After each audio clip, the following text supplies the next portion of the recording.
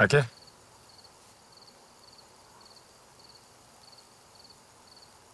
атам қазір қатты ауырып жүр.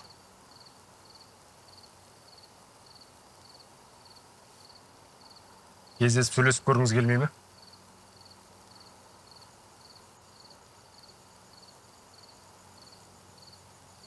Ешкім мәңгі емес балам. Сонда осылай отыра бересіз бе?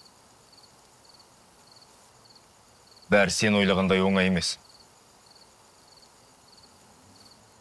Осы уақытқа дейін бір рет болсын кездесіп сөйлесуге тырыспадыңыз ба? Мені күтіп отырған атаң жоқ. Ал сіз мені күтесіз бе? Ол да сіз сияқты әке. Сіз оған мен сияқты баласыз.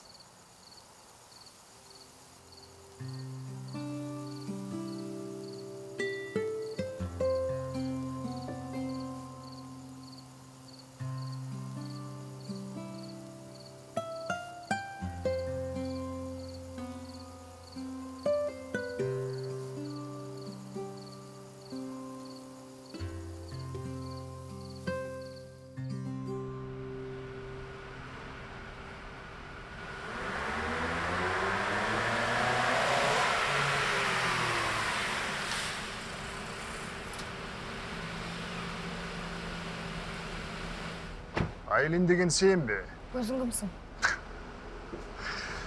сұраққа сұрақпен жауап беретінің қызық екен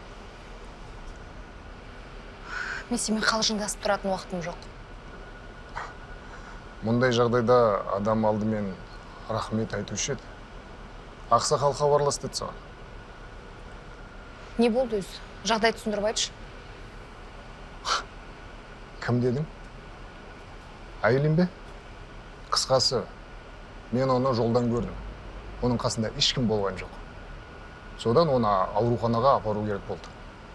Айтпақшы. Оның көлігінің кілті. Алғысыңды айтпай ақ қойсаң да болады. Сосын талғамың. Онша емес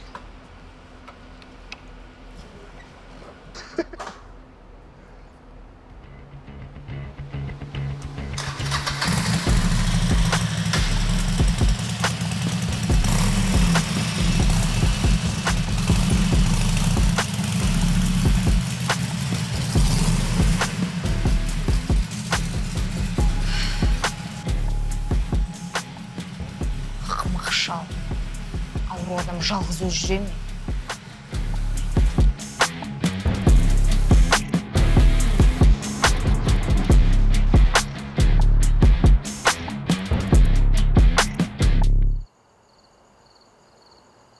мансұр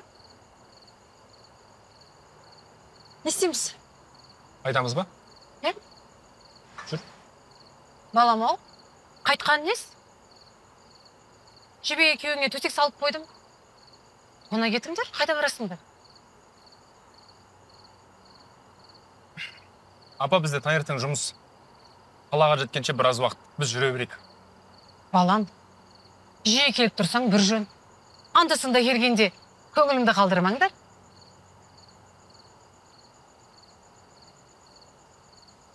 Жарайды апа. Таңертең ірімшік қосылған сүйікті омлетіңді пісіріп беремін иә? Рахмет. Жібек сен ше не қалайсың? Ә,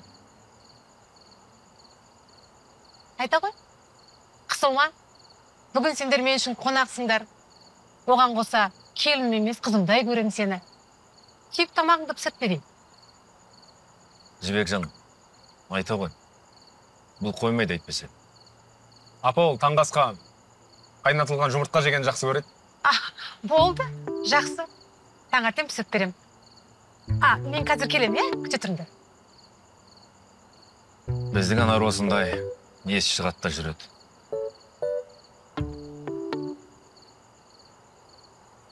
Қызым міне мынау менің саған сыйлығым. Бұны мансұрдың әжесі мен келін болып түскен кезде таққан.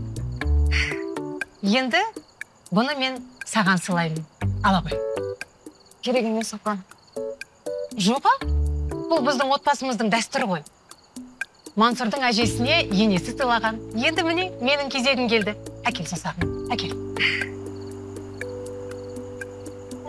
Қандай әдемі. Рахмет. Бақытты бол. Рахмет. Бағың еселенсін.